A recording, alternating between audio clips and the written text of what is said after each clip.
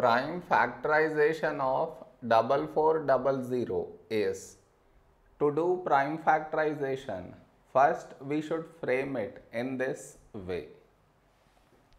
Double four double zero.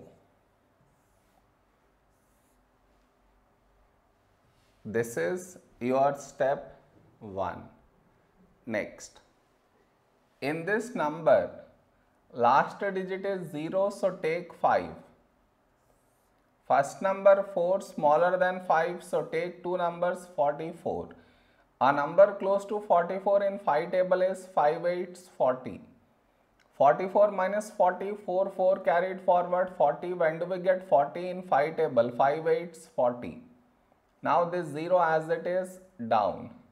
Last digit is 0 so take 5 First number 8, a number close to 8 in 5 table is 5 ones 5. 8 minus 5, 3, 3 carried forward 38. A number close to 38 in 5 table is 5 sevens 35. 38 minus 35, 3, 3 carried forward 30. When do we get 30 in 5 table? 5, 6, 30. Now the last digit 6, even so take 2. First number 1 smaller than 2 so take 2 numbers 17. A number close to 17 in 2 table is 2 8 16. 17 minus 16 1 1 carried forward 16 when do we get 16 in 2 table 2 8 16. Now the last digit 8 even so take 2.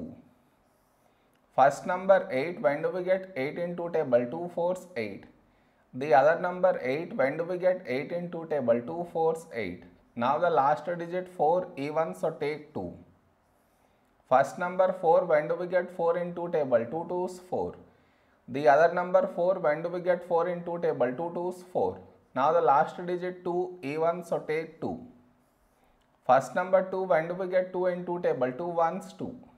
The other number 2 when do we get 2 in 2 table 2 ones 2. Now here we have 11 11 is a prime number so 11 ones 11. So we got 1 here.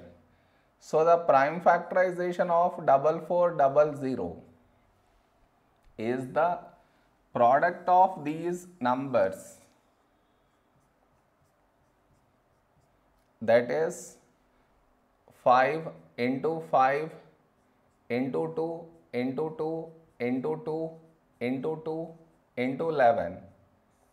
This is the prime factorization of double four double zero.